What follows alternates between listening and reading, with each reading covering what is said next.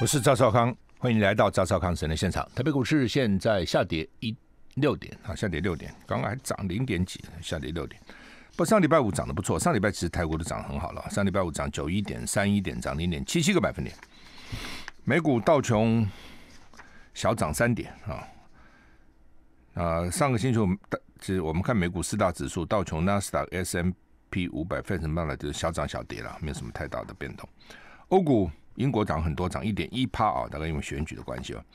法国、德国都中涨啊，零点五趴左右哈。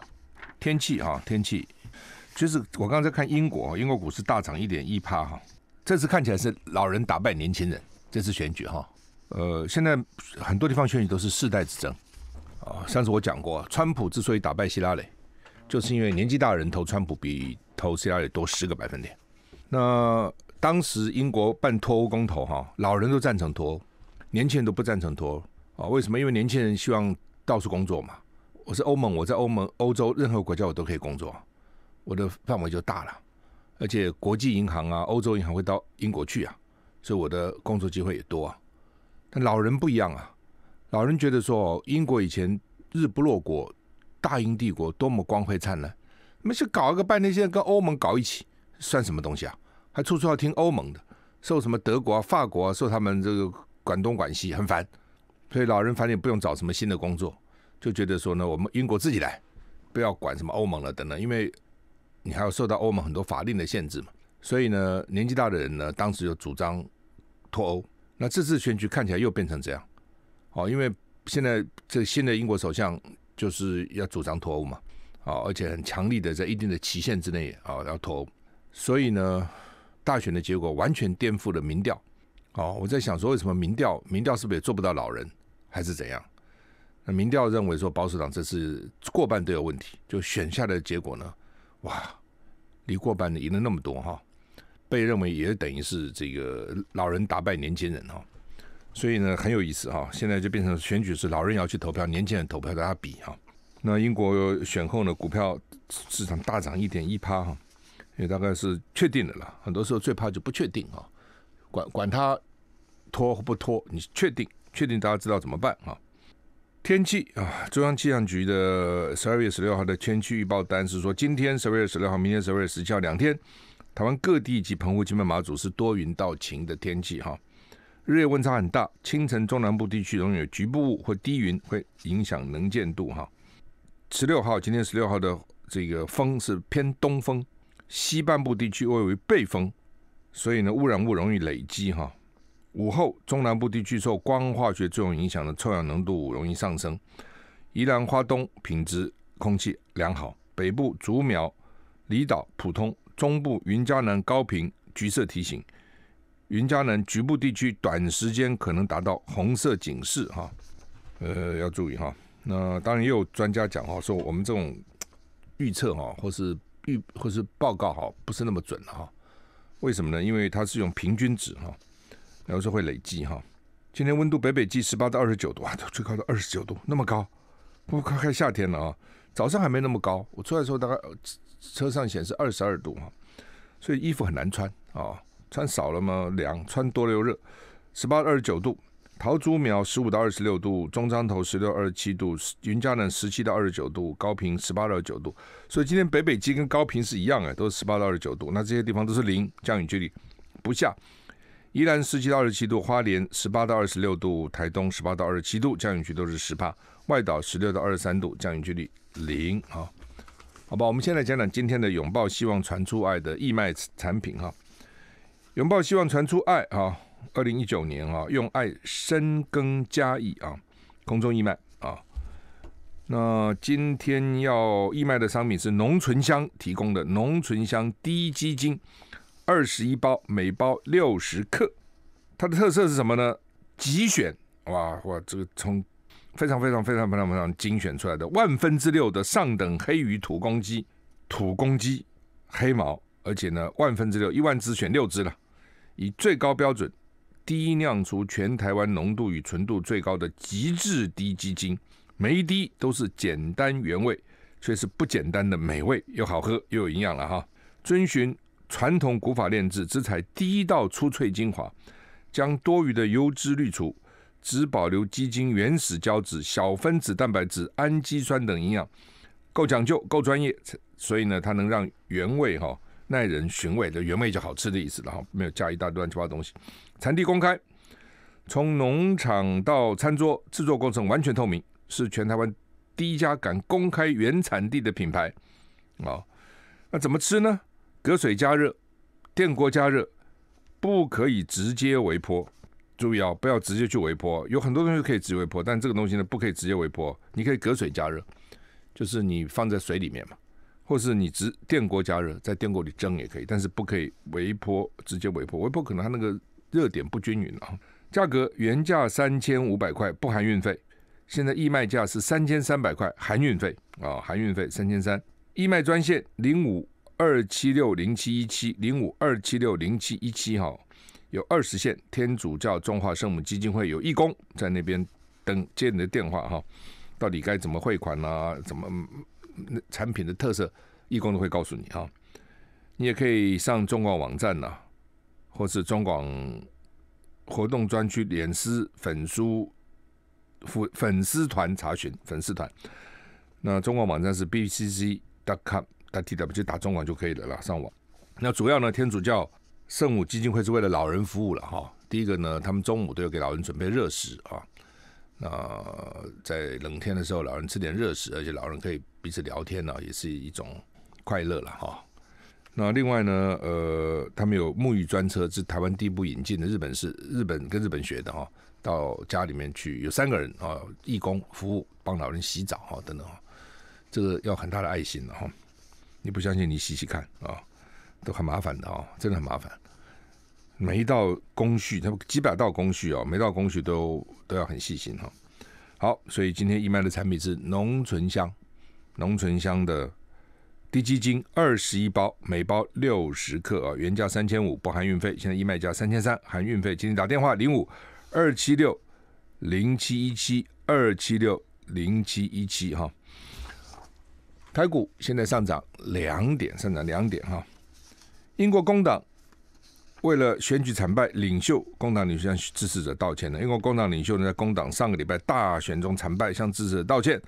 工党丢掉五十九席，党魁科宾预定开年正式宣布请辞，预定三月完成交棒。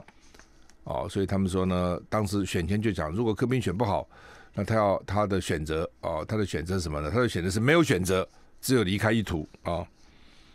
那么工党遭遇八十多年来最重大一次选败选，得票率掉了百分之八，就连一些传统票商票都丢了哈。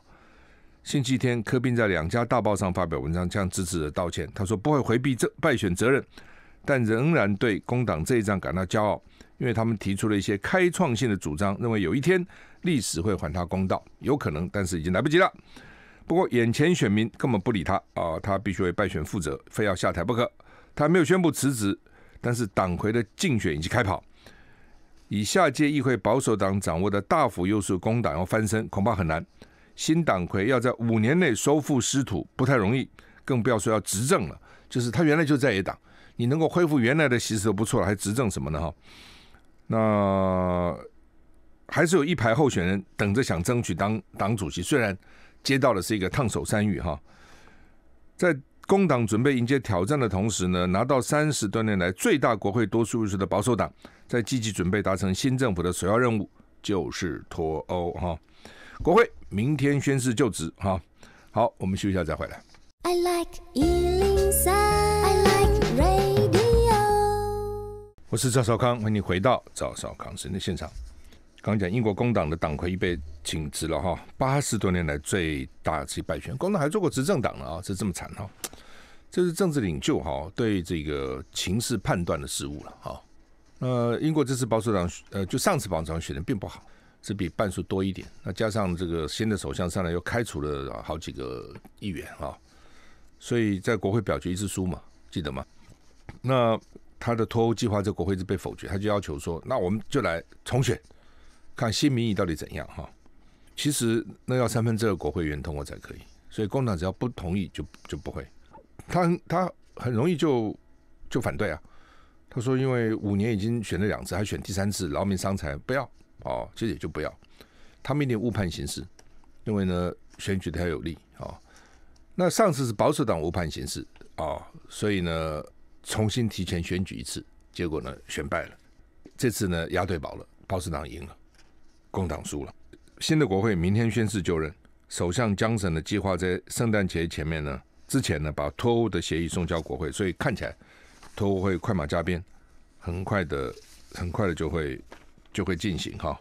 那国际上有什么事情呢？国际上就是气候联合国的气候会议嘛，哦，那看起来并不好啊，也就是说并没有达成。我觉得一方面也是大国哈都在背锅了，大国跟我不同意，你怎么办？什么美国啦，这些大国根本就根本不理你啊！那这次呢就没有达成很重要的一点，就是碳交易。碳呢？什么叫碳交易？我上次解释过了，就是说我们现在控制碳嘛，不希望碳排放越来越多。那那假假如我很认真，我这个国家或者我这个这个工厂，那排碳量很少，你呢超过啊，你没有办法，因为你要花很多钱才能减碳，但是呢你做不到，你跟我买。就是我把我的碳权卖给你，就是碳交易，哦，就我花了很多钱在碳的房子上面，有很多新的科技啊，等等等，好，所以呢，我的碳排的少，你排的多，那我们两个加起来除二，哎，刚好符合标准，所以我就卖给你嘛。他鼓励大家，哦，它是一种经济上认为说可以鼓励大家投资了，那结果但是很复杂，你想嘛，你想复不复杂？当然复杂，所以呢，没有达到结论哈。那这这次在马德马德里召开联合国气候会议结束了。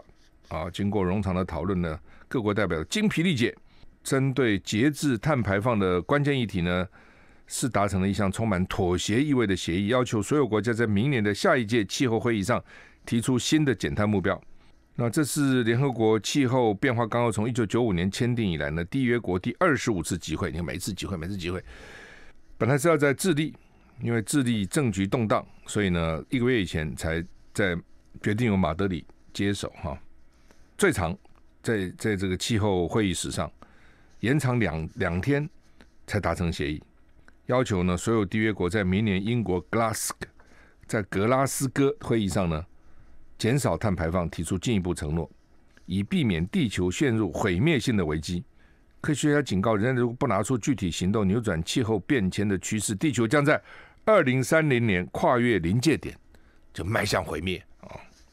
大家好像不太在乎哈，因为觉得。为什么会这样？第一个还早嘛，第二个迈向毁灭，那什么时候会毁灭呢？我们都不在了，所以我管他。蔡英文不是跟李远哲说，环境保护啊什么这些这些气候是下一代的事情，我们这代干嘛那么努力？我们这代好好拼经济啊！所以这是一个，有的人不相信啊，有人相信，但觉得还没那么快到。另外呢，也有人大概认为说，反正要死一起死，要死一起死啊，那不是只有我死，大家都死了，他都死就算了嘛。科学家。尽管呢，在那边大声哀嚎，越来越频繁的天灾印证气候暖化对人类的生存呢构成重大威胁。但是呢，包括美国、巴西、印度、大陆等碳排放大国都反对订定更严格的减碳目标。那只有在欧盟还有小型海岛国家的坚持，所以呢，这次会议才做出妥协性的协议。联合国秘书长古特瑞斯说呢，国际社会再度错失一个扭转气候危机的重要机会，他很失望。就是大国，因为它排放很多，美国最浪费了，所以他反对。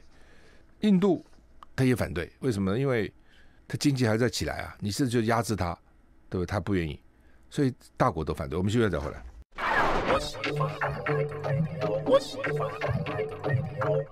我是赵少康，欢迎你回到赵少康时间的现场。台北股市现在上涨七点。美国预备撤掉四千个驻阿富汗的美军哈。美国总统川普最快会在本周宣布从阿富汗撤离大概四千名美军的计划哈。那美国跟阿富汗民兵组织塔利班塔利班已经在一周前恢复谈判，双方都设法要降低暴力局势，甚至可能会达成停火协议啊。但是华府十二号暂停会谈。因为阿富汗首都喀布尔北方一座美国空军基地附近十一日遭到塔利班攻击，导致两名平民丧命，数十人受伤。哈，所以 NBC 美国国家广播公司呢报道哈，说呢，川普政府打算宣布从阿富汗撤离四千名美军，目前有一万三千名美军驻扎在阿富汗。CNN 报道，川普政府说呢，减少阿富汗驻军的计划可能在本周宣布，但宣布时机仍有变数啊。美国如果要全世界到处打仗哈，在阿富汗就搞了一万三千个美军，很久嘞啊！你看这些美军呢是离乡背景在那边很辛苦的哈，鬼鬼地方哦，很辛苦啊。老美养尊处优哦，到了那种地方去，就像当时打越战一样的，美国大兵真的苦不堪言了。你到中南半岛去，你就知道那个多热啊！夏天那微就是那个 heat wave 那个热热浪袭来，哎呀，你真的哈，我们去都不适应哎。都觉得什么都不想干，哎，怎么这么热？怎么这么热啊？只想喝冰冰水。老美怎么办啊？时隔一年，安倍内阁不自律不支持率再度超过支持率哈，所以安倍呢也是反正，但是他已经是有史以来在任期最久的首相了啊，在那边是个首相干这么久了哈，以前而且还两次啊，先干首相下台，又干首相啊，然后呢？这个这次做的还不错啊，可以做做做做做一做做那么久哈。主要的原因啊，他们好像是为了招待他的支持者，招待他的支持去那个看樱花。我们不常干这个事情嘛？哦，我们内立委经常招待支持者到立法院参观啊，或安排到这里参观那边参观啊。但日本人大家觉得很气啊。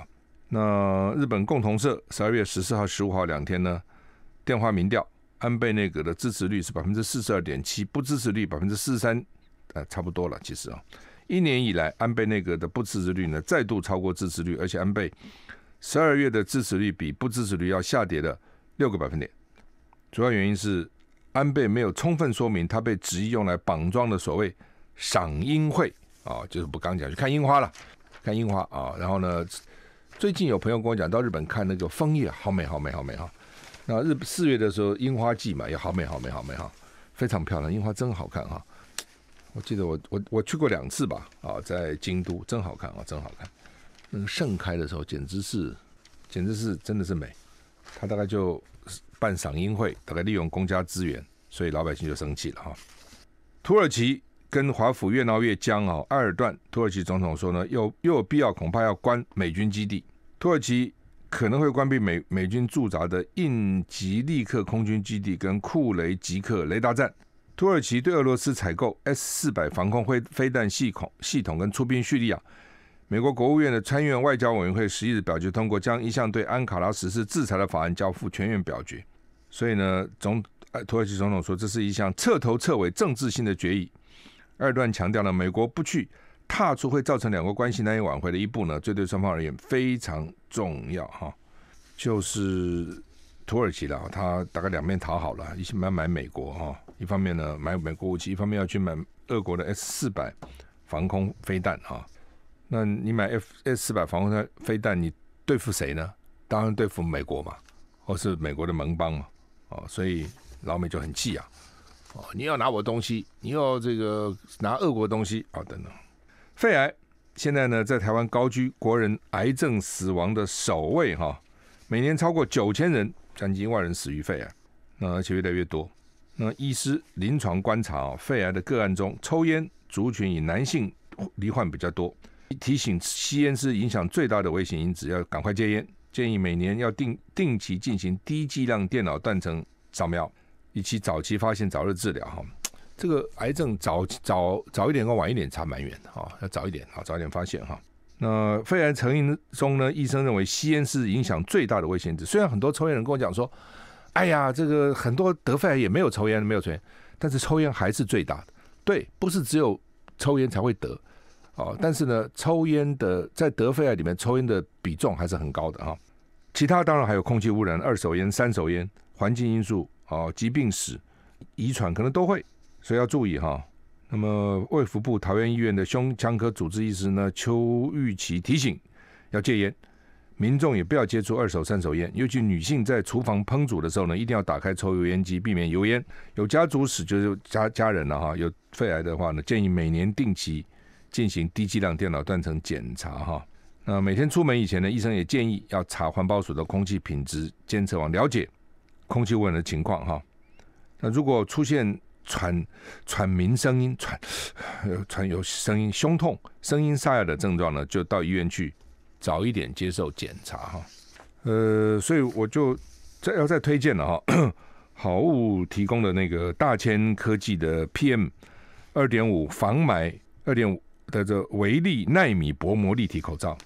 一般的口罩其实挡不了 PM 二点五的哈，只有这种纳米薄膜口罩哈可以戴哈。它不但可以过滤 PM 点五呢，甚至还可以过滤 PM 零点零七五百分之九十九，还可以水洗。那个口罩可以水洗，就是你不需要戴个就换了，戴个你可以洗哦，把它洗干净哈。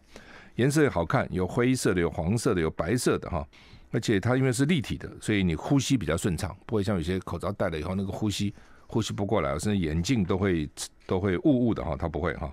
呃，有专利，反正哈，我戴了就觉得不错了啊，过滤的效果非常好哈，所以你有兴趣的话，打零二二五零零五五六三中广服务专线哈。我为什么每次提到肺癌，我就想到这个戴口罩。I like 103, like radio. 我是赵少康，欢迎你回到赵少康时间的现场哈。谢谢这个我们热心的听众朋友及爱心的听众朋友哈。那么刚刚这个农村乡的低基金，等于是。完售了哈，非常快哈，谢谢大家。刚讲这个大千科技这个呃口罩哈，因为它是立体造型，所以好看，而且你那个鼻子不会被那个挡住哈，所以呼吸比较顺畅的，特别强调哈。呃，空气真的污染很严重哈，真的要很注意，而且你做饭的时候那个油烟很重要。很多妇女说我不抽烟呢，怎么回事？油烟啊，油烟非常不好哈。现在我做做菜的时候炒菜我都戴个口罩哈。那它这个。这个口罩的好哈，它通过好几个检查哈，比如说我们我们台湾的国家 CNS 检查，PM 二点五经过台湾纺织所 TTRI 测试 A 级防护口罩，SNQ 国家品质认证。第二个呢，交通大学环境文件所重金属过滤效率大于百分之九十五，油性粒子过滤效率 DOP 美国 Nelson 测试大于百分之九十八，微粒子过滤效率 PFE 零点一。这个 MUM 啊，经日本 k k e n Test 的中心测试大于百分之九十九，所以它一定要要把很多细的东西都过滤掉才有用啊。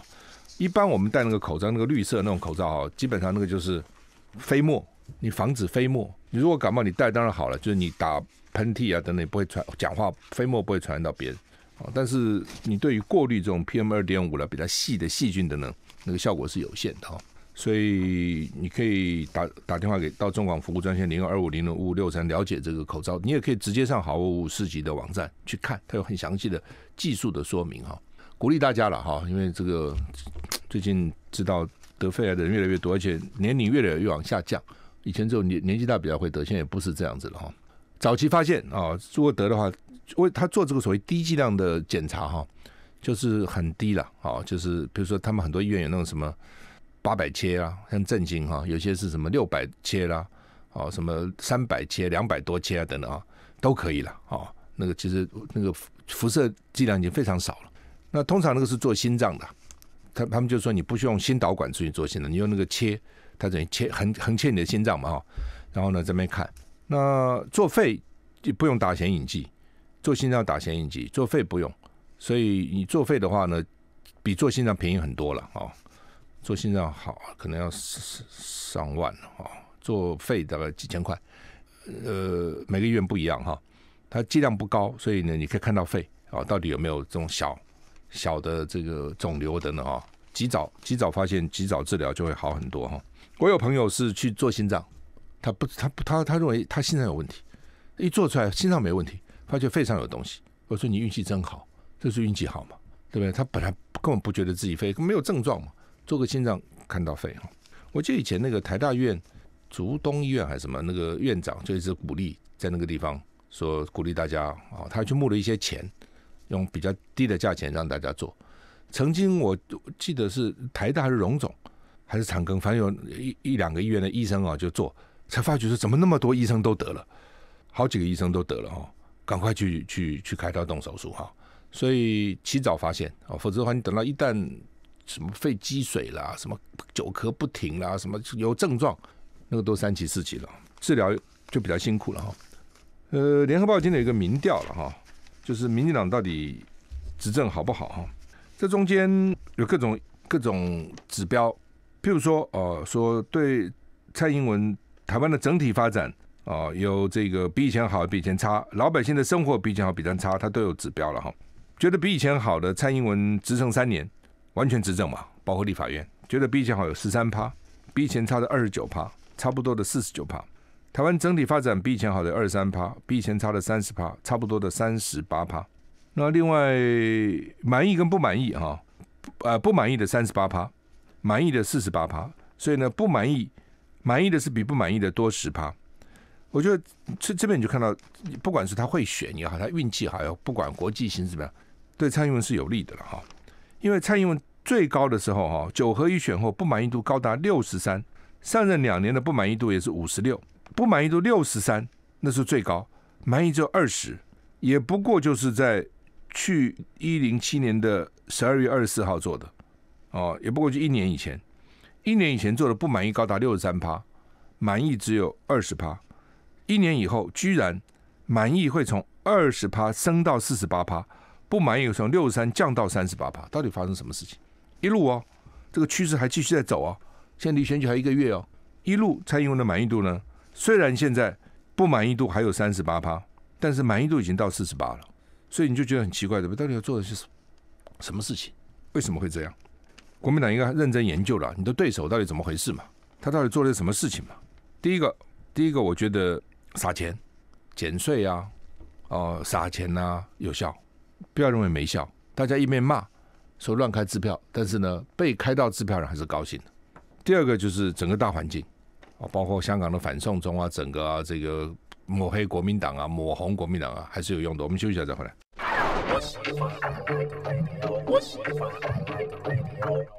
我是赵少康，为你回到赵少康时间的现场哈。那刚讲啊，是说蔡英文突然啊，民调不满意上升啊，最差的时候满意度只有二十，现在满意度涨到四十八，最高的时候不满意度有六十三趴，现在呢跌到三十八趴哈。当然，这个东西也有一点效果，就是你讲不好的时候，大家都说不好；你说它好的时候，大家都说它好。它会有这种加成的这种效应哈。那到底他哪个政策好？联合报调查说呢，四成三的选民讲不出来。那么满意度最高的前三名是年金改革一成五，维护台湾主权一成一一成，同性婚姻合法化百分之七。尤其二十岁到三十九岁的民众呢，有一成是最满意的呢，是同性婚姻合法化。四十岁以上就少很多，那主权大概都是一成左右，所以这三个是大家觉得想得到它最好的。好，一个同婚，一个主权，年金。哦，年金改革，年金改革当然军工长很气，但是呢，也有些人拿不到的，没有这个年金的会觉得，为什么他可以，而且我没有年金，就造成这种所谓对立嘛。啊，这几个啊，本来你是执政者，你就有优势了啊，你你可以做很多事，你有优势。那除了这个以外，我就刚刚讲嘛，撒红包送钱很重要。就一方面撒红包，一方面呢操控主操弄主权，就只有我能能维护台湾主权啊！你看我我那天就看他的看板，民进党看板出来，比如说二零二零选举，对不对？哈，这个这个台湾要赢，这这什么意思？就是只有民进党赢了，台湾才是赢民进党没有赢了，台湾就输了，这什么个逻辑呢？国民党赢了，台湾就输了，但是有没有用？有用，很简单啊，这这么句话。你认为到最后投票那一刻或投票之前，那个选民心里，哎，台湾要赢啊？因为老公那么强，我们不赢还得了吗？我们会变成香港这样搞了半天，民众这个都很这个惶惶不安呐，哦，上街头啊，我们会变成这样呢？哦，只有民进党能保护我们呢，蔡英文才能争主权呢？有没有用？当然有用。那国民党被打的好像毫无招架之力，这讲不出论述来。你当然可以有你的论述，这没有啊。那国民党在干什么呢？这种东西，照理讲，党主席都应该率先出来讲话，当初也不讲话。那其他的这个宣传部门啊等等，好像也没看到什么人。立委呢是个个人随狼高兴嘛，各打自己的。哦，这些区域立委要知道，当你国民党整体的其实打不起来的话，你区域立委要事倍功半，你辛苦的要死。哦，当他整个气势起来的时候呢，一个猪都能飞上天空。哦，当你气势不好的时候呢，叶子都飞不上去，静止不动。所以整体整个大环境。国民党要创造了，哦，还有一个月哦，你你你总有个你你你的目标是什么？你的理想是什么？你的论述是什么？你总要拿出一套东西来。民进党就很简单嘛，就是维护主权嘛，台湾独立嘛，他就是很简单，就这样子啊，很清楚啊。你知道他要干什么？那你国民党要干什么？你告诉我你要干什么？你执政，我投票给你，你要做什么？你这个党要做什么？不是个别立委哦，整个党你要带过什么？讲清楚啊，要讲清楚啊。那而且这个民调也很怪啊，这联合报做的，说你认为这次总总统大选哦，有没有乱开支票？百分之四十二认为非常严重，百分之三十一觉得还算严重，百分之十一认为不严重。那认为严重的里面哈，乱开公的这么严重哦，谁乱开最严重？有百分之五十一的认为哦，韩国语哈最比较严重，宋楚瑜呢其次。就认为五十一趴认为韩国严重，认为宋楚严重二二十六趴，认为蔡英文严重了一趴，这什么个民调啊？这老百姓想些什么？宋楚瑜开了什么支票？宋楚根本开什么支票啊？怎么会有百分之二十六的人觉得宋楚瑜开的支票严重呢？宋楚瑜才出来参选没几天，他没讲什么支票嘛？宋楚瑜开什么支票？当然蔡英文严重嘛，他是执政者，他每天这边开支票，就居然认为严重，只有百分之一认为蔡英文严重。百分之五十认为韩国严重，你说韩国衰不衰？你说蔡那个宋楚瑜衰不？我觉得最衰是宋楚瑜了。虽然二十六，他根本没改支，他什么也没讲，他开了什么支票？说到二十六趴认为他严重，就你就知道这老百姓的认知哈，有多么的多么的，我不知道怎么讲了。你说无知也好，多么的多么的错误，好吧？真的变成这样子，所以我觉得实在是哈。这这我相信联合报不会作假，他做出来就是这样嘛，那就知道那个民民意有多么乱七八糟乱讲一通嘛，真的是乱讲。你从这边就看是乱讲一通，这就我就讲，我当觉得你好的时候，你什么都好；当我觉得你不好的时候，你什么都不好。情况就在这边就显示出来。开支票有没有严重？严重。谁严重？韩国严重。第二严重，宋楚严重。蔡英文蔡英文不严重，这百分之一认为他严重，这百分之一认为他严重，你这不知道讲什么好了哈，是真的奇怪啊，怎么会这样子哈？内政部那个次长叫什么名字啊？陈忠彦呼吁新住民朋友要支持蔡英文连任，而且说呢，政党票集中投给民进党，哦，如果投给小党呢，意思就是浪费。他们最近都在讲这个东西。哎，你是内政部哎，内政部你怎么可以讲这个话呢？他当然后来有道歉了哈，但是实在是哦，你这个行政不中立已经到了极点了，你知道？之前呢，民进党还讲啊，说这个高雄人对不起台湾。高雄怎么对不起台湾？因为选那个韩国，高雄对不起台湾这个什么个逻辑呢？上之前蔡英文还到台中说台台中人对不起林佳龙，选你都是活该，应该活该倒霉，要选你不可。做不好你下台还不行，是是选民对不起你。这么选民怎么对不起你？是你对不起选民了？选民怎么对不起你呢？你这个是个什么什么个理论呢？哦，选民怎么会对不起你？选民有自己选择。选民可能会对不起自己，选错人了。选民怎么会对不起你呢？你到底做了什么事情，选民非要非要这个支持你不可呢？所以我现在讲这些话哦，我觉得他们不是，他就是整个基调是这样，整个调子是这样。所以这些官员呢，为了拍马屁，整个调子往这边走。好，我们今天时间到了，谢谢你的收听，再见。